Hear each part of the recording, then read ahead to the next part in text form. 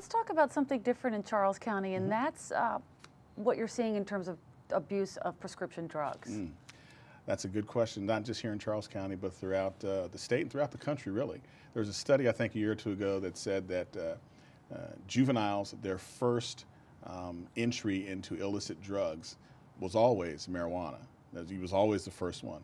Now, like 50% are saying that it's prescription drugs, pills. It's a huge difference. And the danger with prescription drugs is that they're really small doses of heroin. That's what I call them because they're opiates, just like heroin is. Um, and people have this notion that, you know, because it's a prescription drug, maybe I can take it, it's more safe. Um, well, that's really not the case. You can get just as addicted just as quickly, and that's what's happening. The prescription pill abuse that's going on out there is driving what many are calling a heroin epidemic um, because heroin is coming back. Here in Charles County, for instance, when I started here back in the early 90s, we never saw heroin. Very rarely. I mean, never.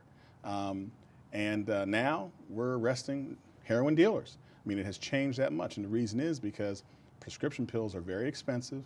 Uh, and when you be, get a habit, it costs a lot of money. And eventually, you move over to heroin because it's much cheaper.